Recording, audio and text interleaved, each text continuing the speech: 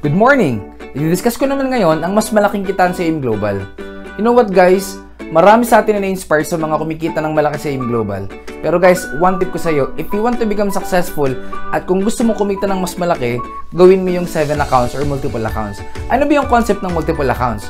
Para ka mag-branch out, in which magpapadami ka ng franchise mo. Bakit maganda yon? Mas malaki ang pwede mong kitain. Now, the good news is, pwede kang bumili ng maraming account. In fact, maximum of 7 accounts under your single name. Ngayon, magkano yung 7 accounts sa IM Global? Each package is worth 12,980 pesos times 7. Ang total investment sa 7 accounts is 90,860 pesos.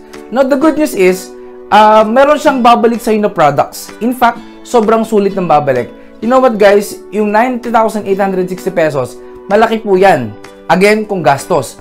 Pero kung ipang negosyo mo, traditional business, napakaliit na po niyan. Every package, ang babalik po sa'yo is worth 15,000 worth of products. Times 7 accounts po, ibig sabihin ng babalik sa'yo na products is worth 105,000. Imagine, lagpas pa sa nilabas mong pera. Tapos, ang maganda dyan, meron pa siyang worth of cash. Ibig sabihin, outright income. Wala ka pang ginagawa. Doing nothing, may income ka kagad. Magano po yon 16,000. Therefore, 105,000 worth of products plus 16,000 worth of cash, therefore, ang total return of investment mo is 121,000 pesos. The good news is, pati benefits, times 7 din. Tama po, times 7 din. Ibig sabihin, pati scholarship certificates mo, times 7. Ang maganda niyan, pitong bata na agad or pitong tao na agad ang matutulungan mo sa ating transferable scholarship program.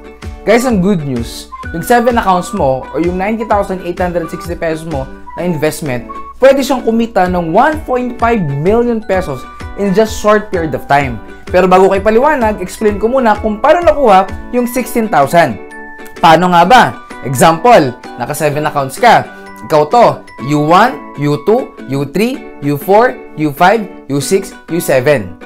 Ikaw, yung first account mo, U1 invited U2, 1,000. Invited U3, another 1,000. Nag-pair, that's 2,000. Total up, 4,000 pesos.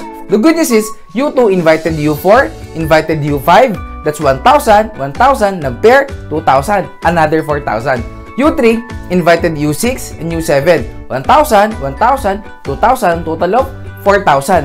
Therefore, si U1 may 4,000, plus U2 may 4,000, plus U3 may 4,000, total of 12,000. The good news is, nag-match pa si U5 at U6, that's another 2,000. Si U U4 and U7, nag-match, that's another 2,000. So, total of 4,000. Therefore, 12,000 plus 4,000, total, kumita ka ng 16,000. Imagine, work and define business, wala ka pang ginagawa, kumita ka na agad ng 16,000.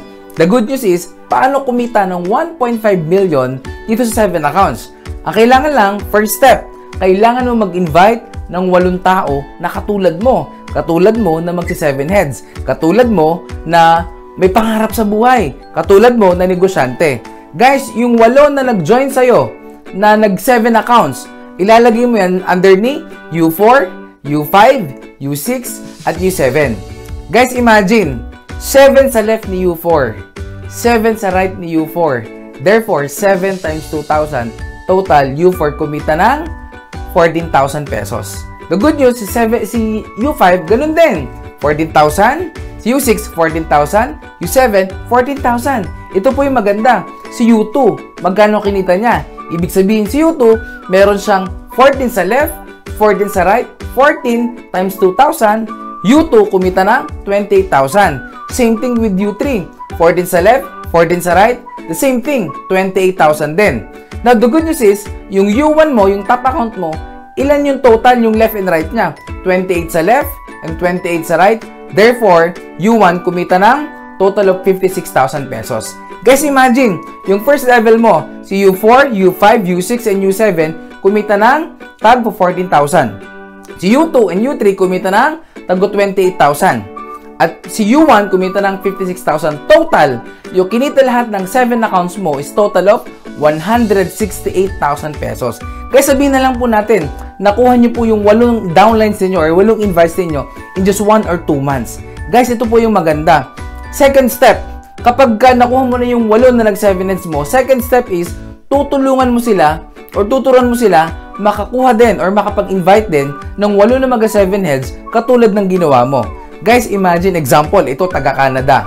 Nakapag-invite siya ng walo din na mga 7 heads katulad ng ginawa mo. Guys, same thing, same time frame, 1 to 2 months. Guys, imagine, itong taga Canada na nakuha mo, kikita rin siya ng 168,000.